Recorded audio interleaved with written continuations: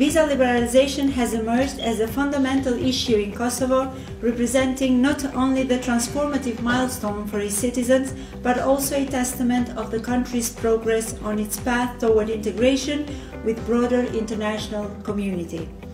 Uh, this vital development holds the potential to unlock a multitude of opportunities, fostering enhanced cross-border collaboration, economic growth, and also cultural exchange. As Kosovo strives to secure its place on the global stage, the significance of visa liberalization cannot be overstated.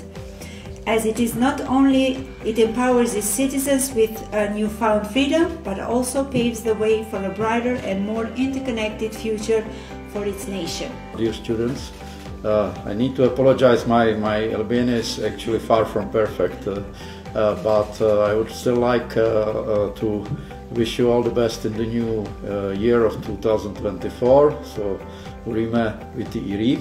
It's high time for, the, for you to travel visa free. I am aware that this is a long overdue decision.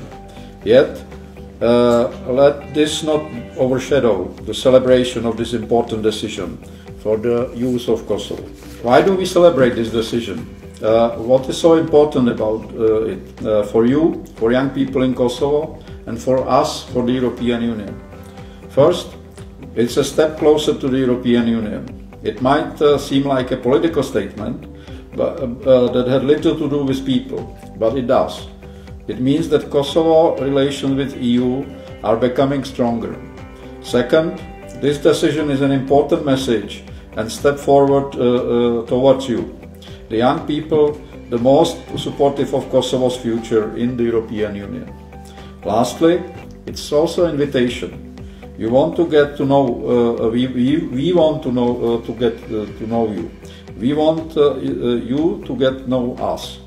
At the end, your fu future and the future of Kosovo is in the European Union. So it will be good uh, that we know each other better. Visa liberalization means that you can also benefit from this right. You can travel to know to get know places, people, cultures, languages. Uh, you, to get uh, to know diversity, the diversity that unites us in the European Union. Looking back in time, this is how I discovered Europe.